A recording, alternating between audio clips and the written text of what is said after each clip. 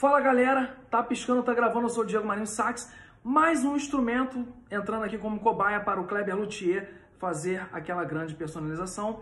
E vamos aqui direto ao assunto, o que, que o Kleber vai fazer nesse instrumento. Como ele ainda está com um banho muito bom na campana e no corpo, esse instrumento nós resolvemos fazer o seguinte, vai ser um dual tone, o corpo vai ser, conforme vocês estão vendo, em níquel, né? E as chaves vão, vai tomar um banho de laque na cor dourada. Então vai ser o corpo em níquel e as chaves vão ser douradas. A gente vai estar tá personalizando o todel também. É, aqui, ó, essa peça aqui eu não gosto desse designer aqui, ó, dessa peça. Nós vamos estar colocando esse todel, alterando essa peça aqui. O Kleber vai construir a peça aqui, colocar idêntica à do Selmer é, Balanced Action, né?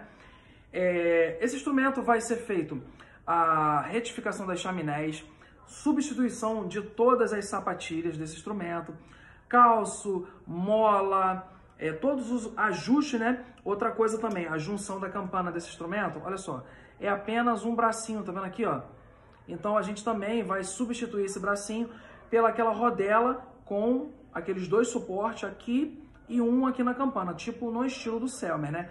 Então vai ser uma personalização, diria que Selmer Balance de Action deixando, lembrando, na estética do Selmer Balanced, né? Então vai ser isso aí. O corpo, né, em níquel vai continuar.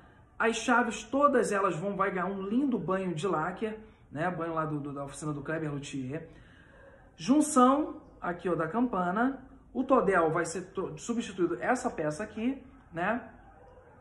E também comprei um, um, um uma madrepérola verde, uns olhos verdes para botar aqui, porque quando essa chave estiver laqueada no dourado, aqui a madrepérola verde vai ficar linda nesse instrumento.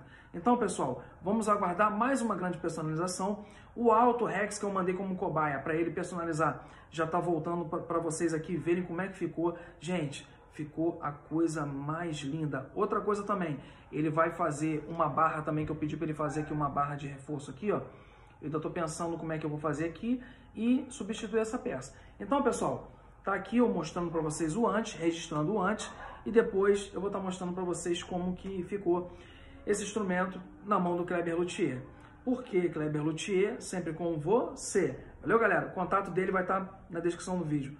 Um abraço, até o próximo vídeo. Valeu!